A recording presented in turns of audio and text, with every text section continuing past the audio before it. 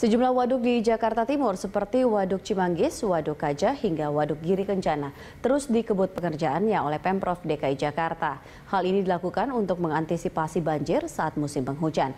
Untuk mengetahui seperti apa progresnya sudah ada Patricia Mapalie dan juru kamera Adini Anissa serta pilot drone David Sibarani langsung dari sekitar Waduk Giri Kencana Cipayung, Jakarta Timur. Ya Patricia, seperti apa progres pengerjaan waduk Giri Kencana?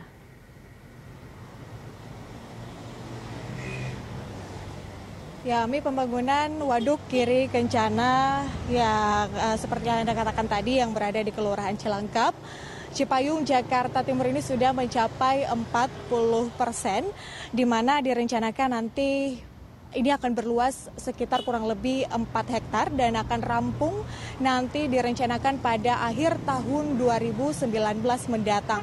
Nah, waduk yang terdapat di Jalan Asyafia dan Jalan Giri Kencana RW 04 dan 06 Jakarta Timur ini dari hasil pantauan kami di lapangan terlihat sejumlah alat berat seperti eskavator begitu yang tentunya diparkir di kawasan pembangunan dan akan digunakan atau sudah digunakan untuk pembangunan waduk yang ditargetkan akan selesai pada tahun 2019 ini. Dan di sejumlah uh, lahan kosong begitu di samping uh, pembangunan waduk ini digunakan untuk menumpuk atau uh, meletakkan uh, tanah hasil dari galian menggunakan alat-alat berat seperti eskavator yang saya katakan tadi.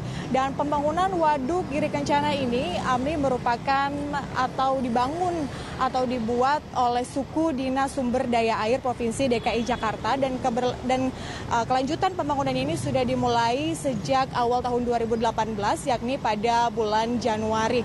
Dan progresnya sendiri, Ami dan juga pemirsa, sejak pembangunannya dilanjutkan pada awal tahun 2018, ini sudah dilakukan uh, pendalaman lahan, di mana lahan ini semula merupakan sawah, kemudian ada juga yang merupakan empang dan juga rawa. Ami. Ya, Patricia, lalu apakah ada fasilitas lain yang juga dibangun di sekitar, sekitar waduk nantinya? Terkait dengan hal tersebut, ini direncanakan oleh suku dinas, direncanakan oleh dinas sumber daya air Provinsi DKI Jakarta. Maksud kami akan ada fasilitas-fasilitas penunjang untuk warga, uh, untuk bisa digunakan oleh warga yakni yang pertama seperti uh, jogging track, begitu yang nantinya akan digunakan warga saat melakukan aktivitas berolahraga.